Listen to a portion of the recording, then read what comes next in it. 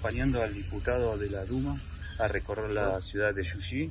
Eh, me imagino que por supuesto hará un análisis de la situación para luego presentar algún informe allí en Moscú. Ah, vamos a ver que, cómo la recorre y qué objetivos tiene.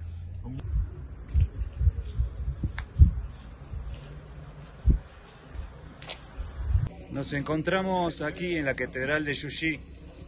Eh, estamos acompañando al diputado para que vea la situación uh, de lo que fue el bombardeo simbólico y real de lo que es la cristianidad para los armenios y por supuesto un símbolo para esta ciudad, la ciudad de Yuyi. Veremos su reacción. Es interesante verlo porque de alguna forma cuando atacaron la catedral de Yuyi fue un intento de cruzar los intereses del mundo cristiano con el mundo musulmán.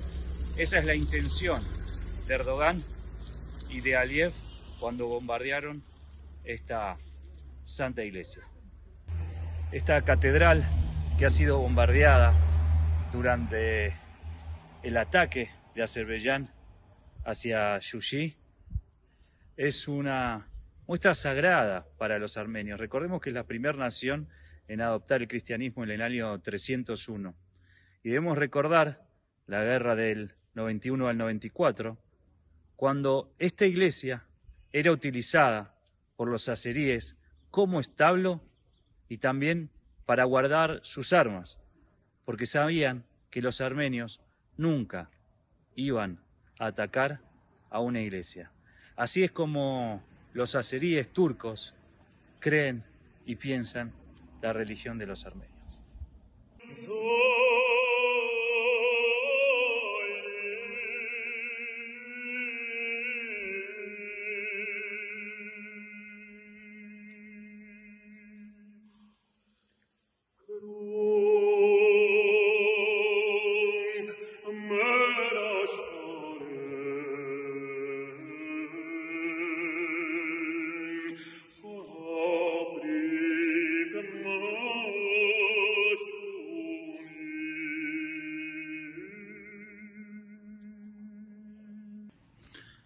Tuve la oportunidad de estar en el año 2000 en esta catedral que tenía no solo un simbolismo, sino una fuerza representativa, de la reivindicación de los derechos del pueblo armenio aquí en Yuyi, pero también hay un espíritu diferente que te embarga cuando entras acá.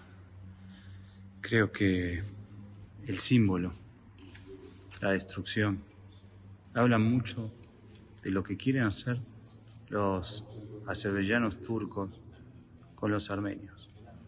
Pegarle en lo más íntimo, en la esencia del pueblo armenio. Recordemos, el primer país cristiano del mundo. Ese es el significado y ahí apuntaron los turcos azeríes con este golpe. Bueno, un momento de emoción, sin duda. Por supuesto, uno ve toda esta carga emocional, simbólica de lo que significa.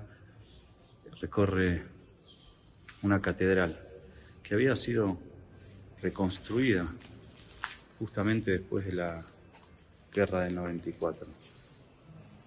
Y ahora todos esos escombros y se escuchan afuera nuevamente los bombazos, lejos. Pero los que alcanzaron esta catedral tenían su misión de dar el mensaje. Allí está. Informó Leo Mungian para Diario Armenio.